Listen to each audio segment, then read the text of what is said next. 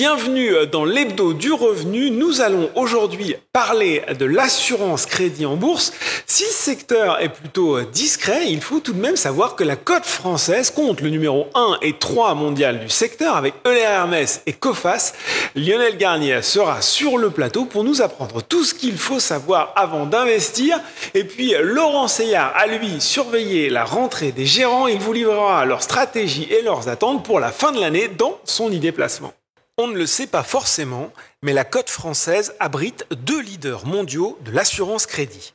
Euler Hermès et Cofas qui captent respectivement 34 et 23% de ce segment de marché. Un marché qui est très rentable puisqu'après les années de crise de 2008 et 2009, le niveau des primes est resté élevé alors que celui des indemnisations a baissé.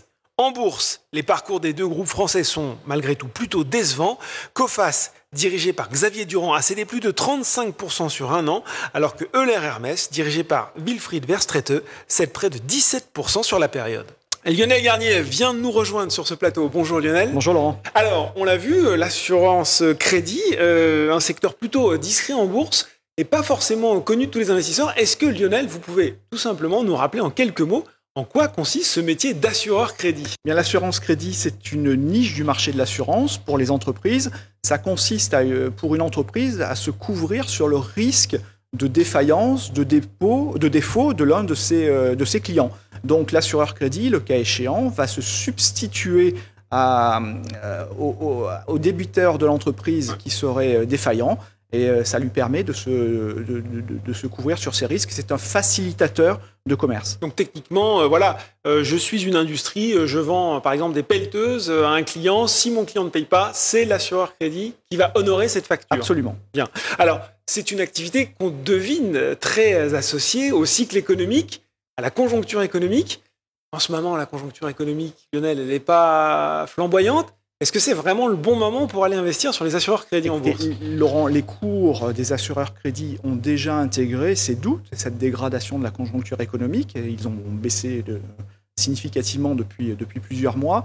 Euh, l'avantage de l'assurance crédit, c'est que c'est un cycle court. Même si la conjoncture se dégrade pendant longtemps au fil des, des, trimestres, voire des semestres, les assureurs crédits ont des contrats annuels et chaque année, ils sont capables d'ajuster leurs conditions tarifaires. Donc, leurs revenus ne sont pas euh, affectés sensiblement d'une année sur l'autre. Il y a une capacité de résistance. Donc il y a une grande réactivité, vous nous dites, hein, par rapport à l'évolution. Ça, c'est rassurant. Alors si on a envie de suivre ce, secteur, on devine un peu particulier, est-ce qu'on doit s'attacher à certains indicateurs, certains ratios de performance spécifiques? Il y a un indicateur effectivement à suivre attentivement, c'est le ratio combiné.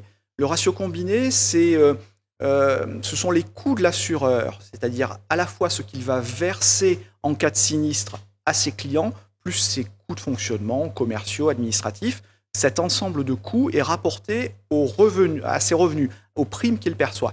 Plus le ratio combiné est bas, meilleure est la performance euh, de l'assureur crédit, meilleure est sa performance opérationnelle. C'est un indicateur d'autant plus important aujourd'hui que la rentabilité du, portefeuille d'actifs financiers que, détient un assureur est bas en raison des taux, euh, des taux d'intérêt qui sont eux-mêmes extrêmement bas.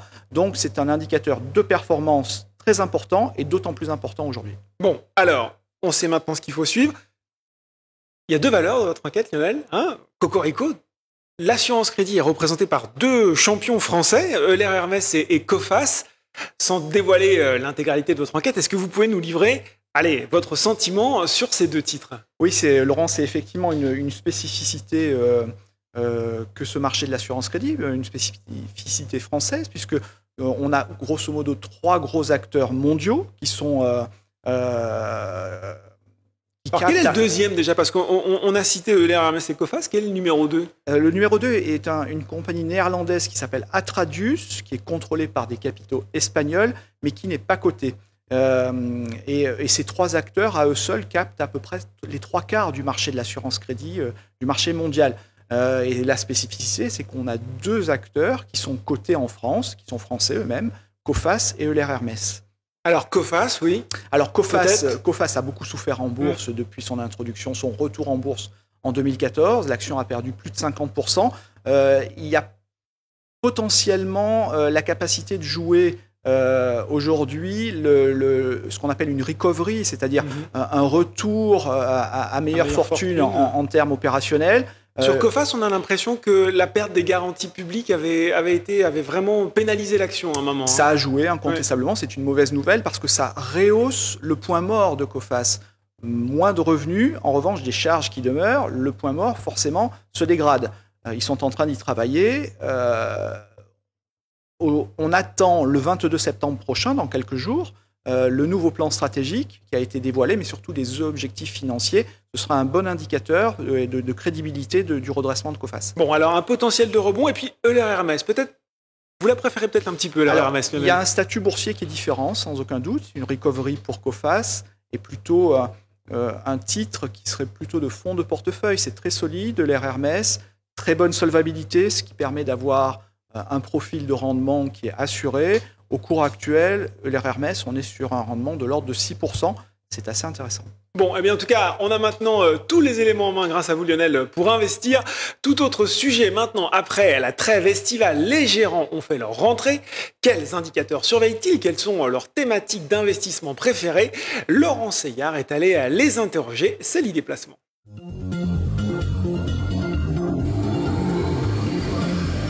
Après des vacances moins agitées que lors des étés précédents, les gérants de fonds ont fait leur rentrée.